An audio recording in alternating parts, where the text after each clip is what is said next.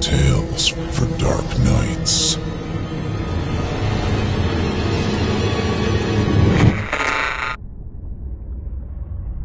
The following performance is a first round entry in the 2017 Evil Idol voice acting competition. Voting is simple.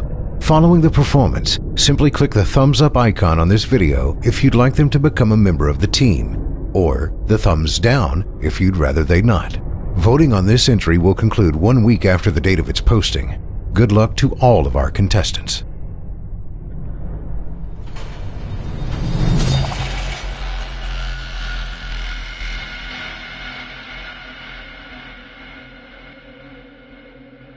Cautious investigators will hesitate to challenge the common belief that Robert Blake was killed by lightning or by some profound nervous shock derived from an electrical discharge. It is true that the window he faced was unbroken, but nature has shown herself capable of many freakish performances. The expression on his face may easily have arisen from some obscure muscular source unrelated to anything he saw while the entries in his diary are clearly the result of a fantastic imagination aroused by certain local superstitions and by certain old matters he had uncovered. As for the anomalous conditions at the deserted church on Federal Hill, the shrewd analyst is not slow in attributing them to some charlatanry, conscious or unconscious, with at least some of which Blake was secret for after all, the victim was a writer and painter wholly devoted to the field of myth, dream, terror, and superstition, and avid in his quest for scenes and effects of a bizarre, spectral sort.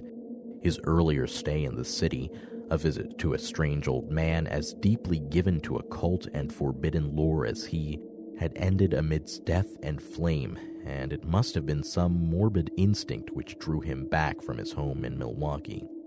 He may have known of the old stories despite his statements to the contrary in the diary, and his death may have nipped in the bud some stupendous hoax destined to have a literary reflection.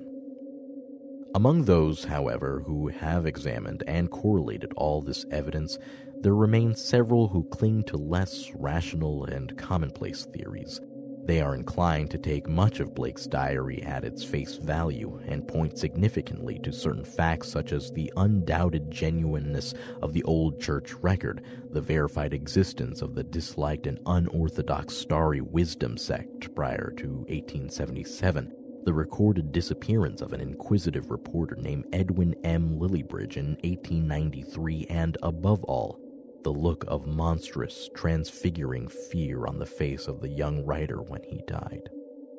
It was one of these believers who, moved to fanatical extremes, threw into the bay the curiously angled stone and its adorned metal box found in the old church steeple, the black windowless steeple, and not the tower where Blake's diary said those things originally were.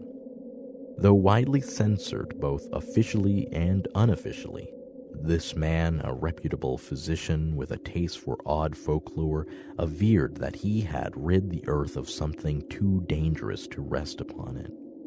Between these two schools of opinion, the reader must judge for himself. The papers have given the tangible details from the skeptical angle, leaving for others the drawing of the picture as Robert Blake saw it, or thought he saw it, or pretended to see it. Now, studying the diary closely, dispassionately, and at leisure, let us surmise the dark chain of events from the expressed point of view of their chief actor.